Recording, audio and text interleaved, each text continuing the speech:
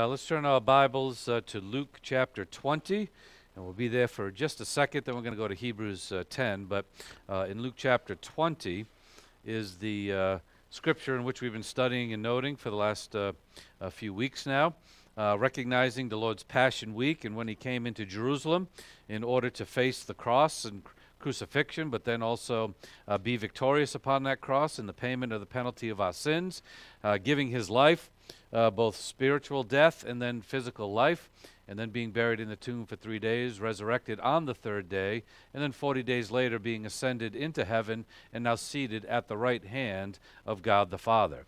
And that last portion is what we've been noting and understanding is the session of our Lord and Savior Jesus Christ, where he is now seated in his resurrected humanity as well as being uh, divine and eternal God uh, in that one unique person of the universe. Uh, now he is seated at the right hand of the Father, and we call that the session of Jesus Christ. We also have another terminology that Pastor Thieme uh, coined uh, a few years back uh, called Operation Footstool, and that's what uh, Jesus Christ is uh, noting in regard to his witness to uh, the Pharisees, scribes, and Sadducees in Jerusalem the day, a few days just before he faced his crucifixion. So, as we understand and recognize in verse 41 through verse 44, our Lord and Savior Jesus Christ, again talking to that crowd that wanted to get rid of him, of the religious leaders and the political leaders. It says, And he said to them, How is it that they say the Christ is David's son? For David himself says in the book of Psalms, The Lord said to my Lord, Sit at my right hand until I make your enemies a footstool for your feet. David therefore calls him Lord, and how is he his son. And again, we've gone through that uh, doctrine and understanding of the sonship of Jesus Christ being in the lineage of David, both uh, directly through his mother Mary and through adoption through his uh, adoptive father Joseph. And he is in the line of David. He is heir to the throne, but yet he is eternal God as he calls him Lord in the Old Testament, and we see him called Lord now in the New Testament. That was a term and title for our God. So he is both, again, the Son of David and uh, the God of gods, and uh, ultimately he is God incarnate who now is seated at the right hand of the Father and undergoing uh, that great session that he will uh, uh, uh reside over for all of eternity. But now, as we understand and recognize this, again, this is paralleled in the Gospel of Matthew and also in the Gospel of Mark. And so we are now noting the significance of this session of our Lord and Savior Jesus Christ and the significance in regard to the history of uh, humankind, but also in this, we're going to see the significance to you and I, the church age believers, the age in which we live in, up until the rapture of the church, and the great benefit that it is and great blessing it is to you and I. So uh, I've got a, a few principles and precepts that we're going to note this morning in regard to the significance of the session of our Lord and Savior Jesus Christ and the great benefit that that is for you and I. And this session of Jesus Christ, now raised from the dead, seated at the right hand of the Father, speaks of the efficacy or the effectiveness of his work upon the cross for our salvation. And because Jesus Christ died for our sins and then was raised on the third day, now seated at the right hand of, of the Father in glory, it gives us a, sig- a significant understanding of what we will receive as well. We too will be resurrected to an eternal body one day.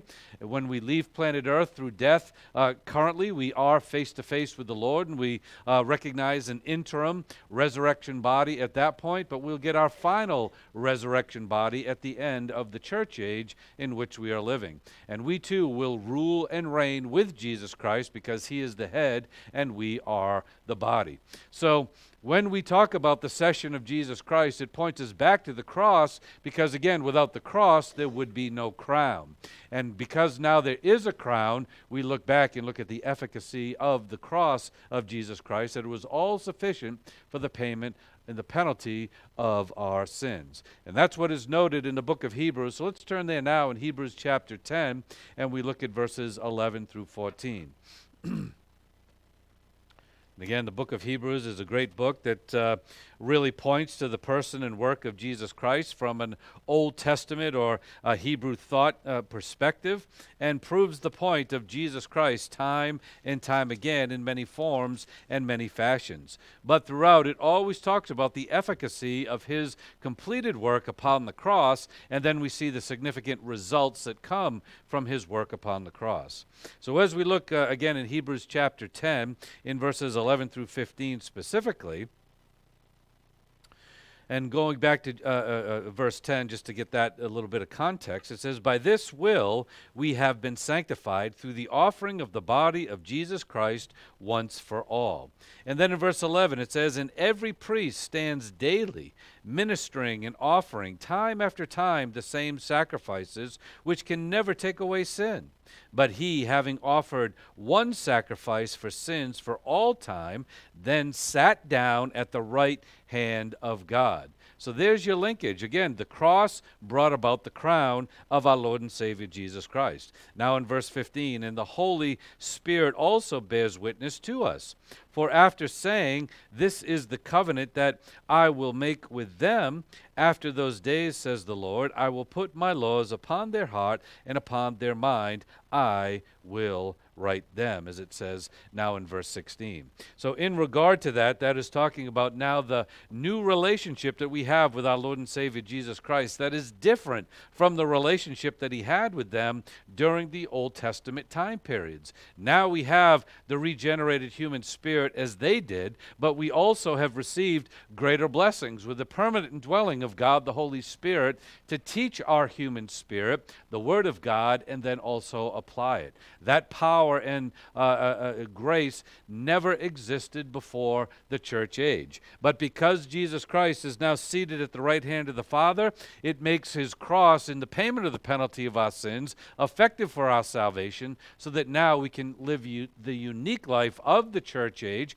having the laws written upon our heart, as it were, by the Holy Spirit through his permanent indwelling and his teaching ministry, as he's doing for you right now with the same result that we will rule and reign with our Lord and Savior Jesus Christ in eternity uh, forever and ever and ever. And that is why Jesus Christ upon the cross said, What? Tetelestai, it is finished. As it says here, the priests were ministering day after day after day, sacrifice after sacrifice after sacrifice. But yet Jesus Christ came for the one all sufficient sacrifice for all time. And therefore, as a result of that one sacrifice where he took on the sins of the entire world, that was enough and was effective for the salvation of every member of the human race. But it is only given to those who do believe. So our Lord and Savior Jesus Christ completed that work upon the cross, and it talks about the efficacy of that sacrifice. And as a result, then he sat down at the right hand of God the Father. And let's look there now and uh, go back uh, uh, one book or one page if you have to, I should say one chapter or one page. And in chapter 9, now specifically in verses 23 through verse 28.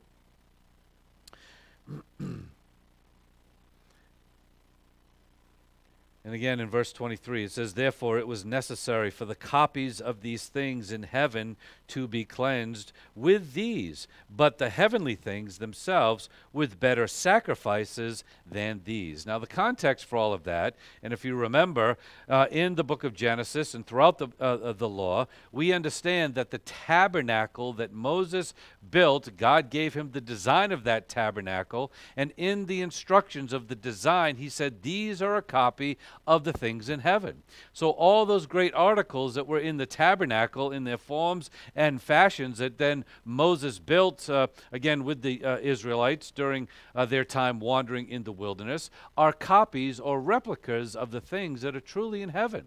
So in heaven, there is the altar of sacrifice. In heaven, there is the brazen laver. In heaven, there's the, uh, the, the uh, great inner room called the holy place, and the uh, place beyond that called the Holy of Holies, and the articles in there the candlestick, the table of showbreads, the altar of incense, and then in the Holy of Holies, the Ark of the Covenant with that great lid called the mercy seat of God. All of those things are found in heaven. When you and I get to heaven and we are in God's throne room at that point in time, in the presence of our Lord and Savior Jesus Christ, and seated with Him at the right hand of the Father, we're going to see all of those articles. And as Jesus Christ came and was sacrificed upon the cross, we know upon His uh, death, He then went into heaven, and His Spirit went into heaven. And there was some form of officiation over the articles that are found in heaven, that are the, uh, uh, the originals of the copies that were here made on earth. And as the Levitical priesthood would make the sacrifices and then uh, do the various aspects of shedding the blood and uh, the various uh, rituals that they had in the tabernacle while they wandered in the wilderness, they had to do that over and over and over again.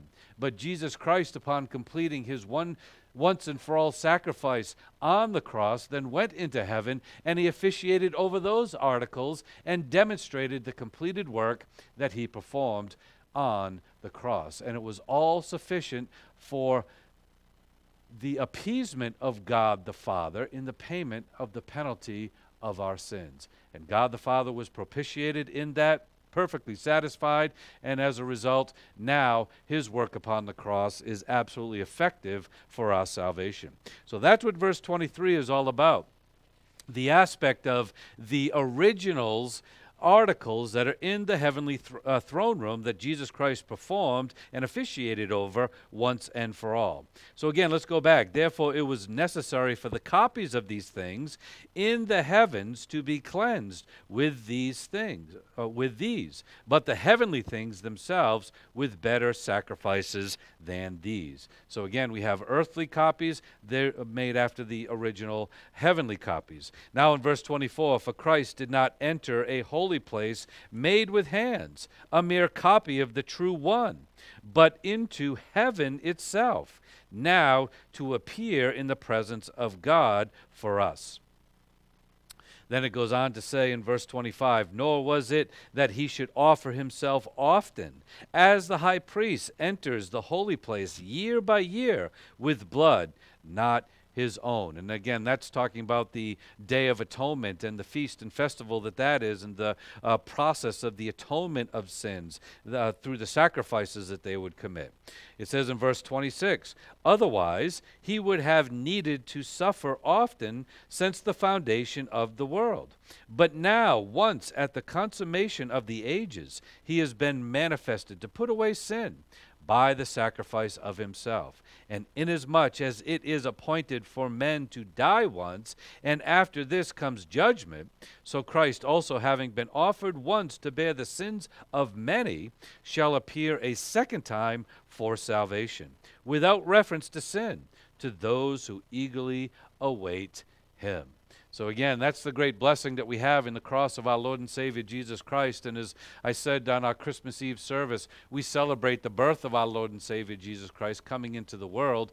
But not just that he came into the world, but how he came into the world and why he came into the world, so that ultimately he could go to the cross and pay the penalty for our sins. And absolutely propitiate God the Father in the atonement for our sins.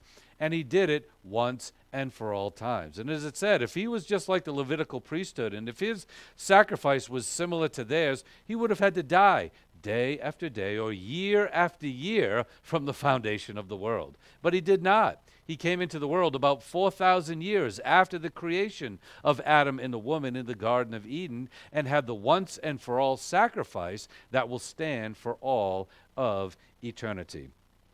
And that is what our Lord and Savior Jesus Christ did. And now, when he comes back in his second advent, as it says in verse 28, so Christ also, having been offered once to bear the sins for many, will appear a second time for salvation without reference to sin to those who eagerly await him and again come back for salvation. This is when we actually will then receive our eternal bodies. We will receive uh, the blessings for the eternal state. We will be joined to our husband, Jesus Christ, for all of eternity.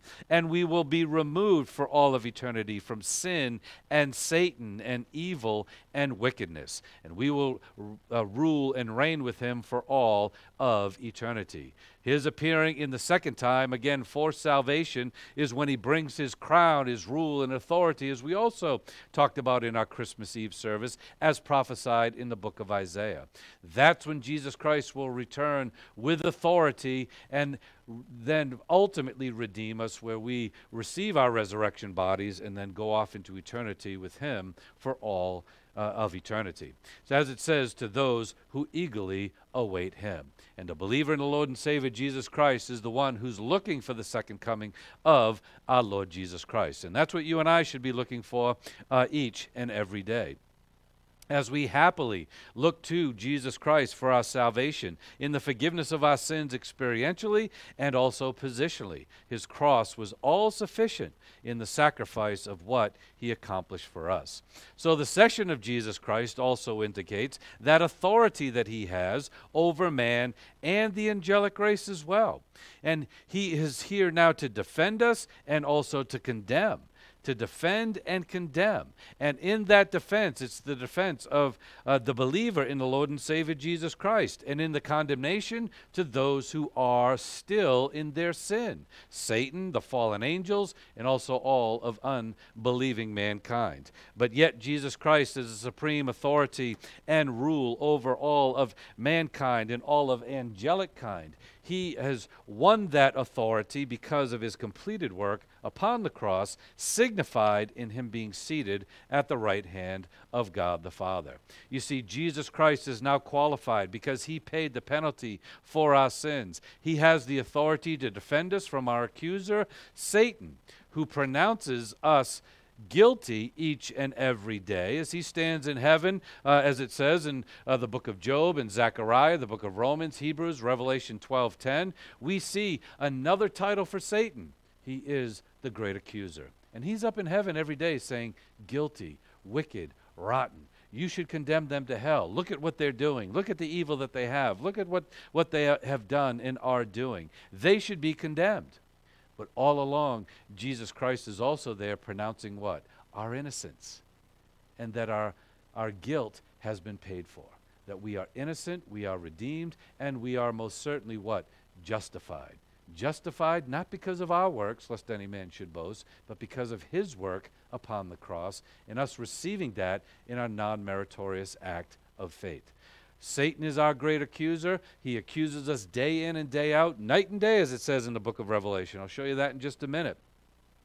As he did with Job in Job chapter 1 and Job chapter 2 is a great example of suffering here on earth, suffering for blessing in a fantastic way, as Satan there is accusing and condemning and belittling the believer each and every day and trying to destroy that believer. But Jesus Christ is there to pronounce us innocent and justified because of his work upon the cross. As it says in the book of Romans, chapter 8, 34, it says, Who is the one who condemns?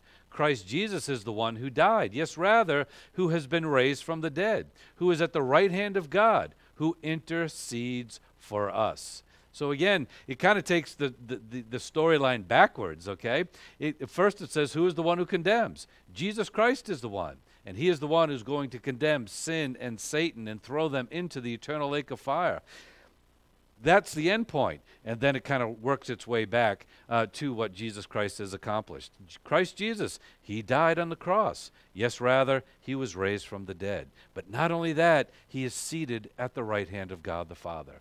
And because of that great blessing and God the Father glorifying him in his resurrected humanity while still being God, Jesus Christ has been given rule and authority over sin and over Satan, and he is there uh, to defend us and intercede for us day in and day out. And Jesus Christ is always always there in heaven uh, defending us from our great accuser. Now in Revelation chapter 12:10 it says, "Then I heard a loud voice in heaven saying, Now the salvation and power and the kingdom of our God and the authority of his Christ have come." And again, the crown has now come to the earth, and he will rule and reign for all of eternity. It says, For the accuser of our brethren has been thrown down, who accuses he who accuses them before our God day and night. And again, this is an actuality. How tiring is that for Satan to be up there accusing us day in and day out, day in and day out? And that every time that he accuses us and uh, calls for our condemnation, Jesus Christ is there interceding for our behalf, saying, Justified, justified, justified. Look at the work that I have performed, and that has saved them from their sins. And it is all because he is now in his session, again, his authority in rulership, seated at the right hand of God the Father.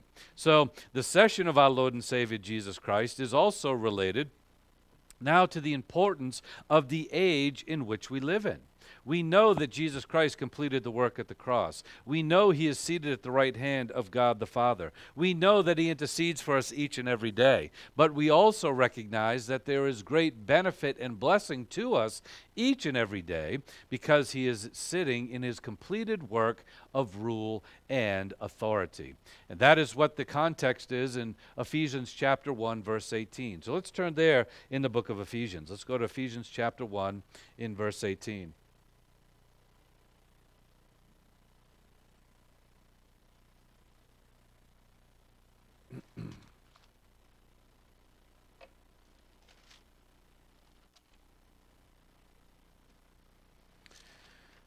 In Ephesians chapter 1, verse 18 through 23,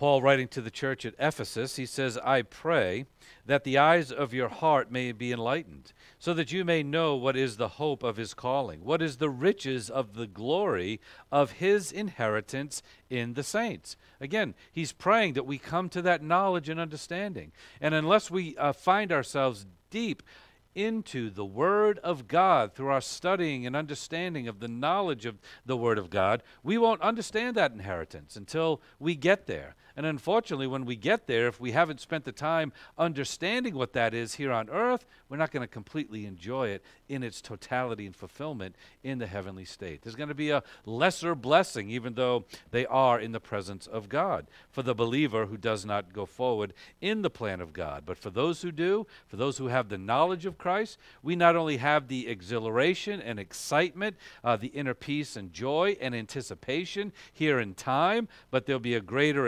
experience in the eternal state as a result. So, again, so that you know what are the riches of the glory of his inheritance in the saints, and what is the surpassing greatness of his power towards us who believe. These are in accordance with the working of the strength of his might.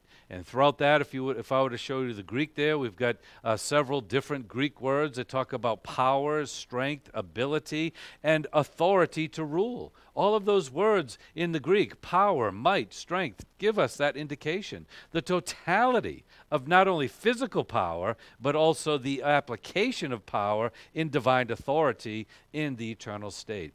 All of that is there for us because of Jesus Christ. Now, in verse 20, it says, Which he brought about in Christ, after he raised him from the dead and seated him at his right hand in the heavenly places. So that's what we see. We recognize in order to be raised, he uh, accomplished the work upon the cross. Not only was he raised, now he's seated at the right hand of the Father in the heavenly places. He's in his session. And recognizing the uh, rule and authority that he now has is another aspect of the power and strength that we are able to wield while we are here on planet Earth to overcome any problem, any difficulty, any sin, any fear, any worry, any issue, even if it leads up to our martyrdom, uh, as we see in the early church. The power of his strength is there so that we can be the overcomers that he designs us to be. Now, in verse 21, it says, far above all rule and authority. And this is who Jesus Christ is. He's far above all rule and authority and power and dominion and every name that is named, not only in this age, but also in the one to come. That's very interesting not only in this age, but the one to come. In this age, who has the rule and authority and power? Who is the one who has authority on over planet Earth? That is Satan, along with his demonic forces uh, that are in league uh, with him, the fallen angels. he has far above rule and authority and power and dominion over them. In any kingdom or any earthly kingdom or any uh, heavenly kingdom that the angelic race has, he is in rule and authority over them. And then in the age to come, once Satan and sin are locked away uh, for all of eternity and the fallen angels and no more sin in the world, there's still going to be rule and authority and powers and dominions and empires. And Jesus Christ will still be an authority over them as well. And remember, when you think about it, you and I, as church age believers, are the body of Christ. He is the head. We will be sitting with him in rule and reign. But the blessing and promise that he has for the Israelites of the Jewish dispensation, uh, that again uh, was interrupted after the cross of Jesus Christ, to be completed at the tribulation. Those believers, those saints, have an earthly kingdom inheritance waiting for them and there will be an earthly kingdom that they will have a dominion and authority and power over. But yet Jesus Christ will be above that, and we being uh, in union with Christ, we too will be in that rule and authority and power even over those uh, uh, authorities and dominions in the age to come. So, very interesting. Uh, the great blessing that we have is church age believers, whether we're Jew or Gentile, we will have that rule and reign authority with Jesus Christ. And as the Bible also tells us, we will, uh, do you not know that you will judge angels in the eternal state? So we will have rule and authority and power over the angelic race, which will be just the elect angels at that point in time, but still have authority and rulership over them because of our union with Jesus Christ. Then, as we see in verse 22, and he put all things in subjection under his feet, and gave him his head over all things to the church, which is his body, the fullness of him who fills all in all. So, yes, he is authority over the church, but remember, the church is his body. He has authority over his body, but that is one unit there. The head and the body go together. And we will be with him in that rule and reign because of his completed work on the cross, signified through his session, now seated at the right hand of the Father.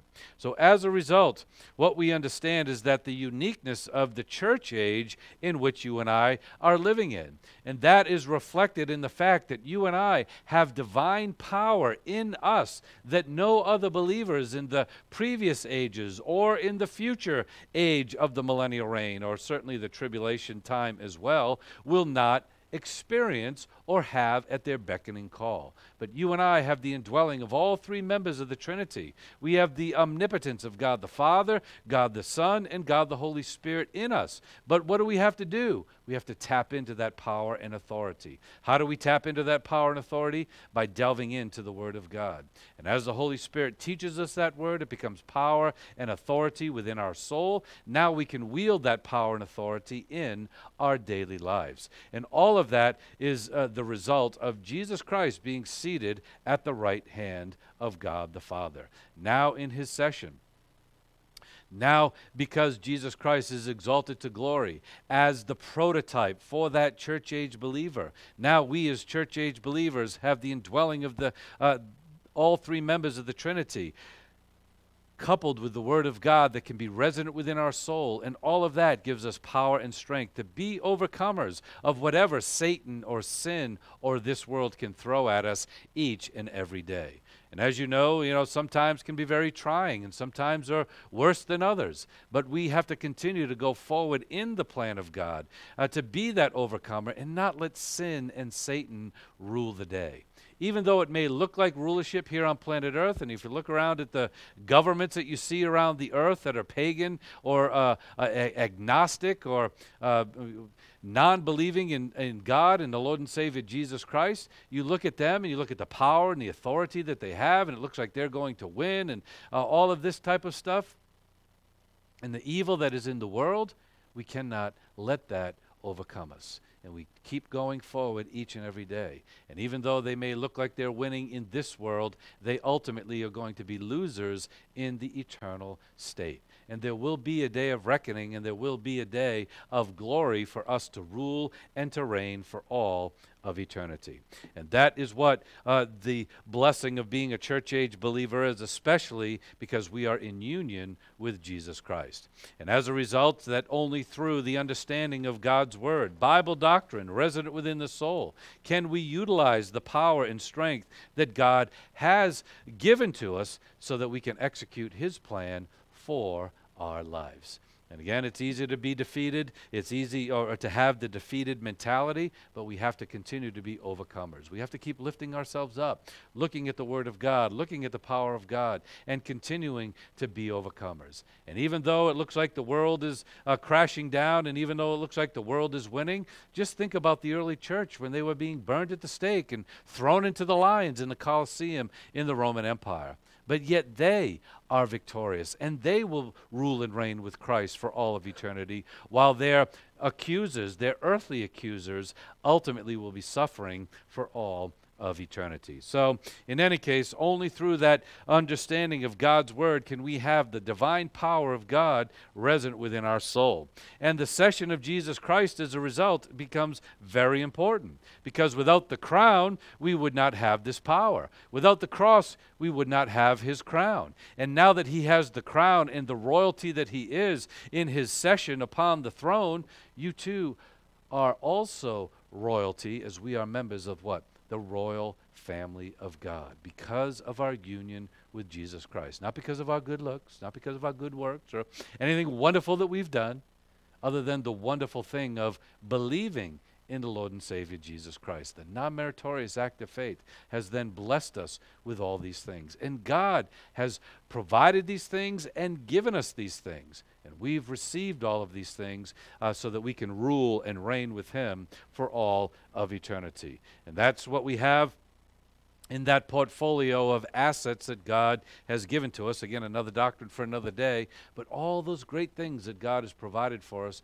of power and strength that we can wield each and every day. Not uh, to mention the 40 things plus that God has given to us from the moment of our salvation and the position that we stand in each and every day, where we are justified, we are holy, we are righteous. And again, it's not just this little group that's in the room today, but all who believe receive those things. So, in any case, again, we have that portfolio so that we can rule and reign while we're here on planet Earth, so that sin and Satan do not rule and reign over our souls here on planet Earth. You see, if we allow sin and Satan to rule and reign, we'll be defeated in the spiritual life. We'll still have salvation, but we won't go forward in God's plan.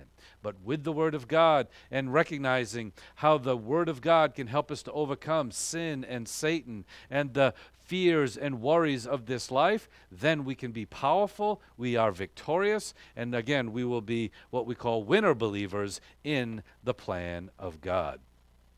And that all then gets us into Romans chapter 8. Excuse me, Hebrews chapter 8. Let's go to Romans chapter Romans. Hebrews chapter 8. I don't know why I got Romans on the brain. Maybe we should turn to Romans 8. Again, it's a great passage, but some, maybe there's something there, okay? But in any case, Hebrews uh, chapter 8 in verse 1 specifically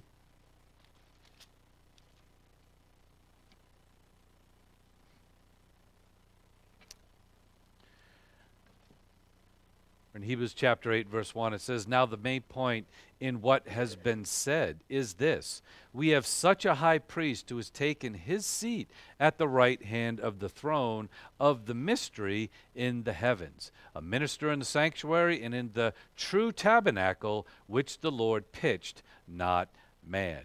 And what's interesting about this, uh, uh, this priesthood that Jesus Christ is ruling and reigning over, again, not only is he king, but he is our priest. He is our high priest as well. And we are a kingdom of priests.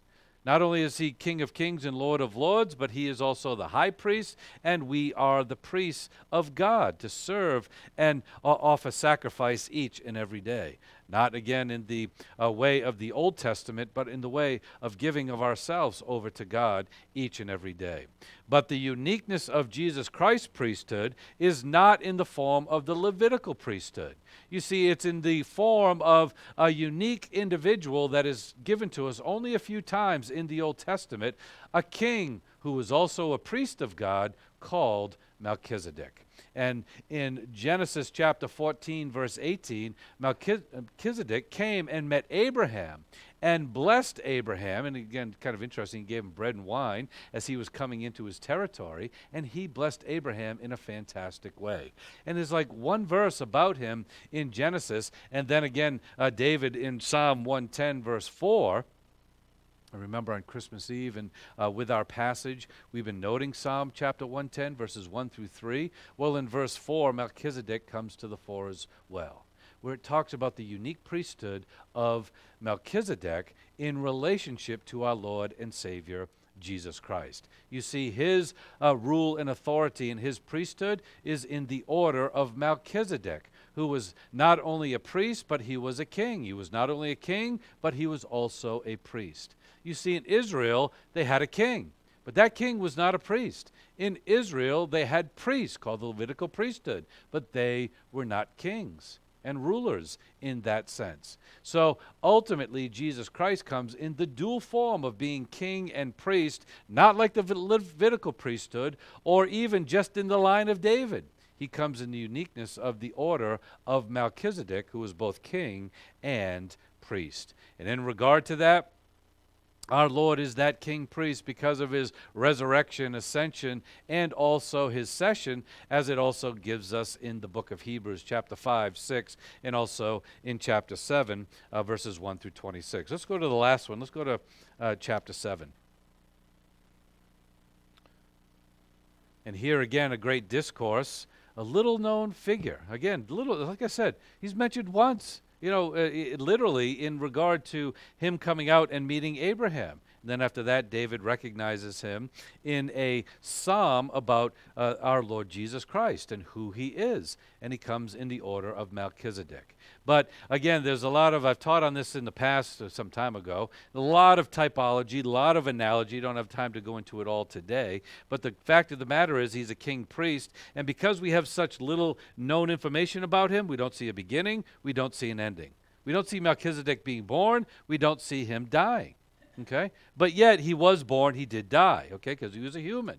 But yet in Scripture, we don't have that information. So we see the eternal nature of that kingship and priesthood as well. So that's another great fact of typology that we see in the order of Melchizedek. Not only a king and a priest, but eternal as well, because again, he just is a blip upon the screen that we have in the book of Genesis.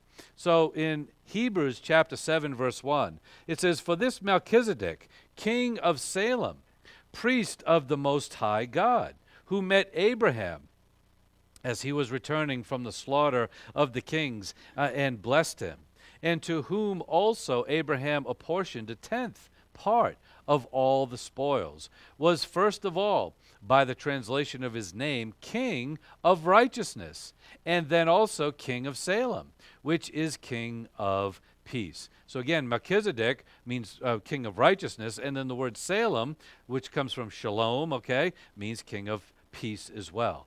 All other analogies and typologies of who Christ is. Now it says, without father, without mother, without genealogy, having neither beginning of days nor end of life, but made like the Son of God, he abides a priest perpetually. Isn't that a fantastic thing? Again, he did have a mother, he did have a father, he did have a beginning, he did have an ending, literally in uh, the human race, okay? But we don't have that information. So, again, for the typology sense of no beginning, no end, without mother, without father, again, the eternal God. So again, uh, now in verse 4, it says, Now observe how great this man was, to whom Abraham the patriarch gave a tenth of the choice spoils. And those indeed of the sons of Levi who received the priest's office have commandment in the law to collect a tenth of uh, from the people, that is, from their brethren, although these are descendants from Abraham. But the one whose genealogy is not traced from them collected a tenth from Abraham and blessed the one who had the promise. So again, Levitical priesthood would get a tenth according to God's law. This Melchizedek, he he wasn't part of that. He was you know, again they didn't have the Lord that day, but he wasn't part of that, but yet he was still blessed in that way. And then it goes on to say, but without any dispute, the lesser is blessed by the greater. And again, the lesser is uh, Abraham, and he blessed the greater, which would be Melchizedek. Again, typology of Jesus Christ. And in this case, mortal men receive tithes, but in that case, one receives them, of whom it is witnessed that he lives on. And so to speak, through Abraham, even Levi, who received tithes, paid tithes, for he was still in the loins of his father when Melchizedek met him. Now, if perfection was through the Le- Levitical priesthood, for on the basis of it the people received the law, what further need was there for another priest to arise according to the order of Melchizedek, and not to be desi- uh, designated according to the order of Aaron, again, who is the father of the Levitical priesthood? It says, For when the priesthood is changed of necessity, there takes place a change of law also. Again, another verse that says we're no longer under the law as Jesus Christ came into the world and again was our great high priest. Verse 13 For the one concerning whom these things are spoken belongs to another tribe, from which no one has officiated at the altar. For it is evidence that our Lord was descended from Judah, a tribe with reference to which Moses spoke nothing uh, concerning priests. And this is clearer still if another priest arises according to the likeness of Melchizedek, who has become such not on the basis of a law of physical requirement, but according to the power of an indestructible life. For it is written of him, You are my priest forever, according to the order of Melchizedek. And again, that's going back to Psalm 110:4. That's the quote from there. It says, for, the, for on the one hand, there is the setting aside of the former commandment because of its weakness and uselessness. For the Lord made nothing, the law made nothing perfect. And on the other hand, there is a bringing in of a better hope, through which we draw near to God. Inasmuch as it was not without, uh, not without an oath, for they indeed became priests without an oath. But he who, with an oath, through the one who said to him, The Lord has sworn and will not change his mind, you are a priest forever. So much more also, Jesus has become the guarantee of a better covenant. And again, for time purposes, you can read the rest there. But again, a guarantee of the better covenant now coming into the church age with the new age in which we live in in regard to a new priesthood that we are a part of. Not under the old Levitical priesthood, but now the priesthood of every believer in the Lord and Savior Jesus Christ, not just those in the line of Aaron. And with Jesus Christ as our high priest, as we've noted in these passages, through the ascension and session, it abrogated the Levitical priesthood and again replacing it with the better you and I now being the royal priesthood of God according to 1 Peter chapter 2 9 and Revelation 1 5 and also chapter 20. You and I as church age believers have a better priesthood. And not only that, we that priesthood doesn't just be a priestly form, but we have the kingly form as well, as Jesus Christ is the great king priest in the order of Melchizedek. You and I also have that same order as royal priesthood unto our God. And that's the great benefit of the church age because of the session of our Lord and Savior, Jesus Christ. And it all is the fact because of the great blessing of being in union with Christ, which is a doctrine and a designation that no other believer had prior to the church age beginning, and nor will they have after the church age is concluded. Only church age believers have this uniqueness in union with Jesus Christ, making us king priests or royal priesthood for all of eternity, as we will rule and reign with Jesus Christ forever and ever and ever. And as you know, the great benefit of our priesthood is that we don't have to go through an intermediary to pray to God. We pray directly to God our Father. We don't go to another priest because we are a priest. And we have that direct connect with God, and we can offer up our prayers, our thanksgivings, our supplications, our petitions. We can offer all of these things up to God because we are priests in the order of Melchizedek because of our union with Jesus Christ, the king priest or the royal priesthood in which we are. So, again, a great blessing and benefit that God has given to us as church age believers. And what we need to do is understand that more and more each and every day by delving into the Word of God and learning about this priesthood, learning about this aspect of being part of the royal family of God, and then apply that in our lives each and every day. As we trust and rely upon God and our Lord and Savior Jesus Christ, who is our head, we turn to them, we seek out their guidance, we seek out their help, we apply their word in our lives each and every day, all through the power and filling of God the Holy Spirit. And when we do, we will be winners as believers in our Lord and Savior Jesus Christ and have great blessings in time, but also in the eternal state as we rule and reign with Him for all of eternity. So, again, when we talk about the session of Jesus Christ, we see tremendous blessings and benefits and significances. And so, when we come back on next Sunday, again, the day after New Year's Day, uh, we'll uh, celebrate that as we give more principles in regard to the significance of this session of Jesus Christ related uh, to us in the church age and how we benefit and apply that in our lives each and every day. All right, but we'll close with that this morning. Father, we thank you for this time. We thank you for the authority, rule, and reign that you have given to us.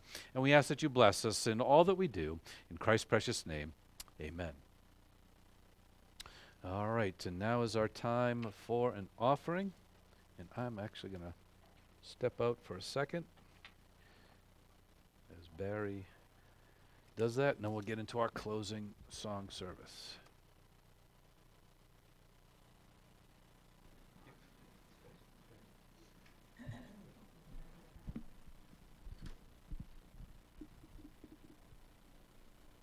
Okay, let us pray for our offering. Lord, we pray that you bless this offering this morning and all that we're able to give. And you continue to bless this congregation with gracious givers so that we may meet our financial obligations and your word will continue to be taught from this pulpit. Through Christ we pray with the power of the Holy Spirit. Amen.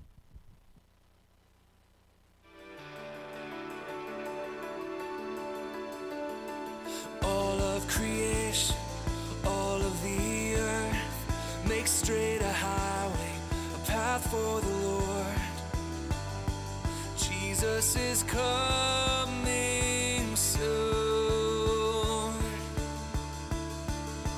Call back the sinner, wake up the saint. Let every nation shout of your fame. Yes, Jesus is coming.